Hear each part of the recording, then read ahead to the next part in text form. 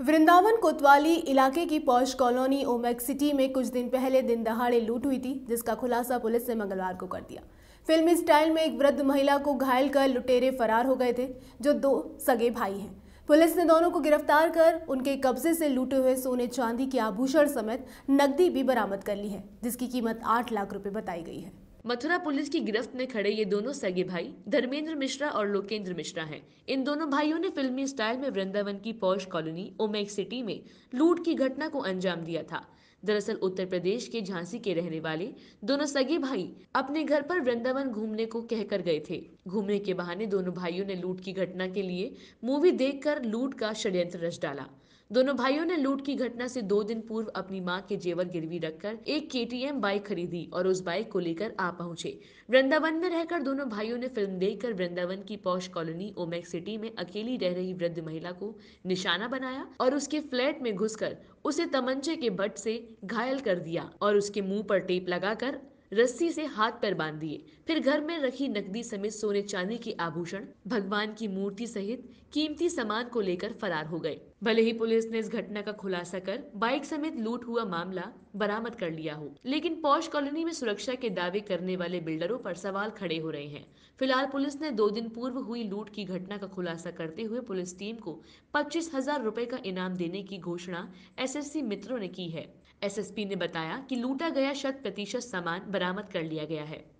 देखिए, जनपद मथुरा के थाना वृंदावन में दो तारीख को जो ओमैक्स का रेजिडेंशियल एरिया है, उसके एक फ्लैट में डेढ़ बजे के आसपास मोटरसाइकिल सवार दो लोगों ने घर में घुसकर श्रीमती सुनीता चावला जो हैं, वो अपने घर पर अकेली थी। उनके साथ मारपीट कर उनके घर का काफ़ी भारी मात्रा में ज्वेलरी और नकदी वहाँ से लूट करके ले गए थे। घटना की जानकारी होते ही सभी उच्च अधिकारियों द्वारा मौके का मुआयना किया गया। इस घटना को पूरी जनपद मथुरा पुलिस ने एक चैलेंज के रूप में लिया। कई सीसीटीवी फुटेजेस खंगाले गए। मुखबिरों के तंत्र के माध्यम से और सर्विलांस के माध्यम से जानकारी की गई। जिसके फलस्वरूप मात्र 48 घंटों के अंदर इन दोनों मोटरसाइकिल सवार युवकों को अरेस्ट कर लिया गया था। इनके नाम है धर्मेंद्र व लोकेंद्र मिश्रा, जो कि सगे भाई हैं। वर्तमान में जनपद झांसी में रह रहे हैं। जिस मोटरसाइकिल से इन्होंने आकर के घटना की थी, वो मोटरसाइकिल बरामद हुई है। साथ ही साथ हंड्रेड परसेंट जो ज्वेलरी थी, जो वादी द्वारा अंकित कराई गई थी, हंड्रेड परसेंट उसकी रिकवरी हुई है। इसके अलावा जो घटना में प्रत्युक्त अवैध असला था, वो भी बरामद हुआ है। साथ ही साथ उनके जो इम्पोर्टेंट डॉक्यूमेंट्स थे, जैसे कि पासपोर्ट व अन्य डॉक्यूमेंट्स वो भी बरामद हुए हैं। जो भी सामान उनके द्वारा लिखवाया गया था, वो शत प्रतिशत बरामद हुआ है। इन दोनों को अरेस्ट करके जेल भेजा जा रहा है। इस, बहुत ही इम्पोर्टेंट सफलता के लिए पूरी टीम को हमारी तरफ़ से पच्चीस हज़ार रुपये का इनाम घोषित किया गया। चोरी के बाद लोगों ने माल कहाँ छुपाया था और कहाँ से गिरफ्तारी हुई देखिए, इनके द्वारा जो है माल यहीं मथुरा में ही एक जगह पर छुपाया गया था। इन्हीं की निशादेही पर वो माल पूरे का पूरा बरामद हुआ है। ये विशेष रूप से रहने वाले झांसी के हैं। उन्हीं, उसी वहाँ पर ही टीम के द्वारा पूछताछ की गई और उसी क्रम में आगे आकर इनकी गिरफ्तारी जो है वो हुई।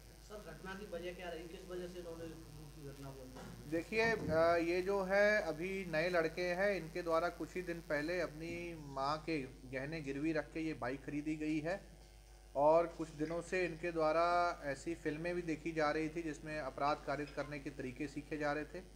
उसी को, उसी से सीख लेते हुए पिछले तीन दिनों से, घटना से तीन दिन पहले ये यहाँ पर आ गए थे। इनके द्वारा इस पूरी लोकेलिटी की रेखी की गई है। कई घरों में जाकर के देखा गया है। इस घटना में भी, घटना से पहले इनके द्वारा इसी घर में ये तस्दीक किया गया कि घर घर में जो वृद्ध महिला हैं, वो अकेली हैं। तस्दीक होने के बाद इनके द्वारा ये घटना की गई है और घटना के बाद पुलिस टीम द्वारा तत्परता से कार्रवाई करके इसका खुलासा किया।